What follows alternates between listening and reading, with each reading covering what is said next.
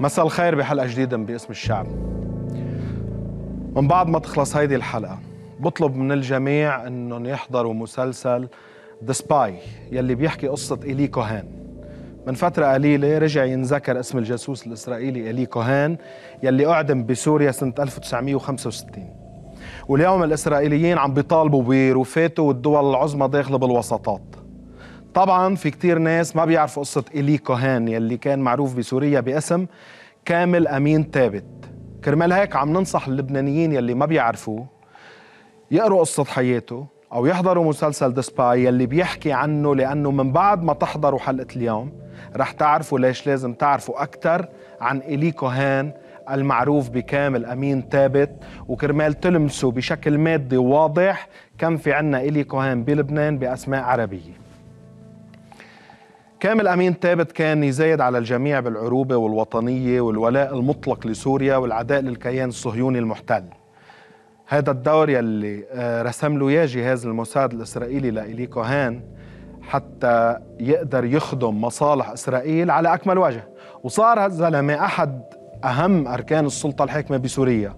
وبعدين صار نائب وزير الدفاع السوري ومقرر بالحروب ضد إسرائيل بالجولان. ولو ما يكتشفوا أمر السوفيات بالصدفة بأنه جاسوس يمكن هالزلمة كان صار رئيس سوريا بيوم من الأيام. ولكن يبدو من خلال الحجج والاستنتاجات أنه هناك العشرات من الإيلي كوهان موجودين اليوم بلبنان. وعندهم أرفع المسؤوليات بالدولة اللبنانية. كلهم بيزيدوا بموضوع المقاومة والممانعة والولاء للوطن وموجودين بالحكم وبإيدهم ملفات حساسة.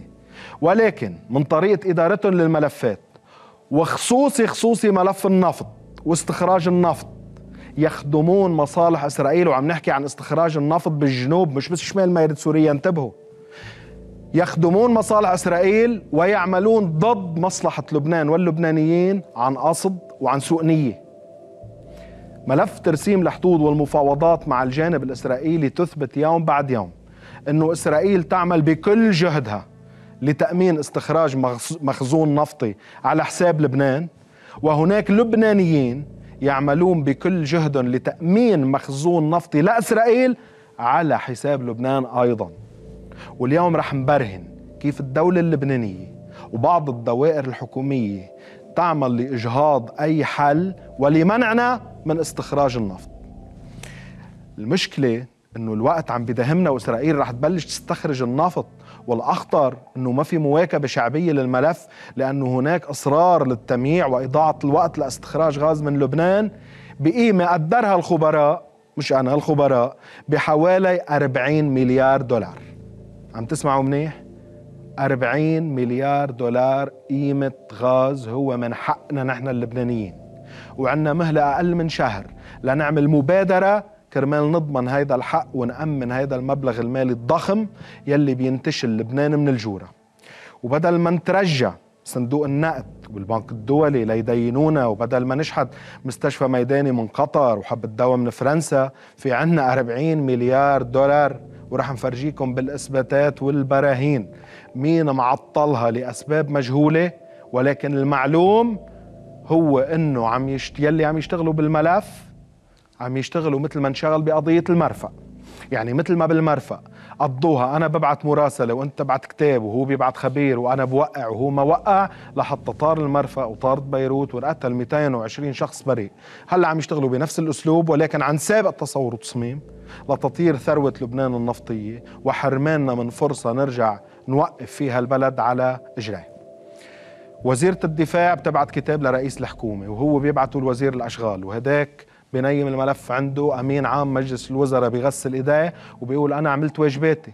وهيئة القضايا والاستشارات تقول هيدا قانوني ورئاسة مجلس الوزراء بتقول هيدي مخالفة دستورية وهكذا دولك قد يكون انفجار المرفأ نتيجة إهمال وتقصير.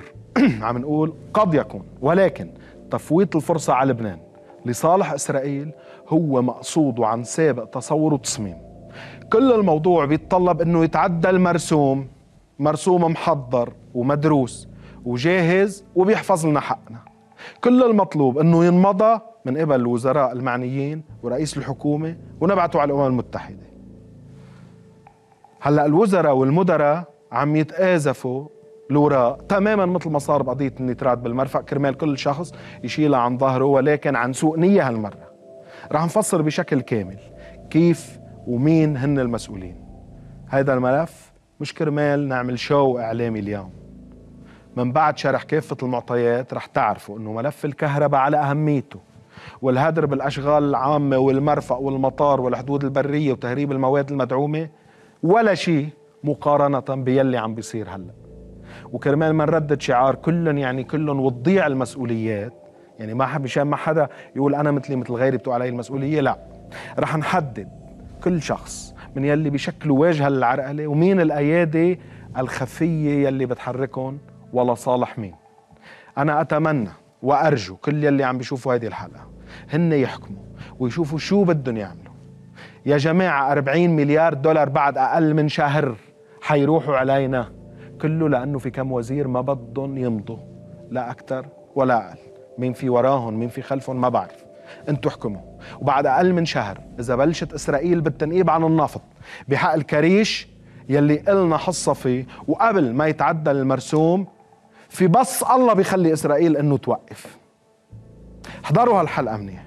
شاركونا بتعليقات على تويتر عبر هاشتاج باسم الشعب. شوفوا بعيونكم إنه يلي بيتهموا الناشطين إنهم بيشتغلوا لصالح السفرات. في جزء منهم هن عم يشتغل هن عم يشتغلوا لصالح السفرات. وعم يمنعوا عنكم وعنا فرصة تاريخية نحن اليوم بأمس الحاجة لها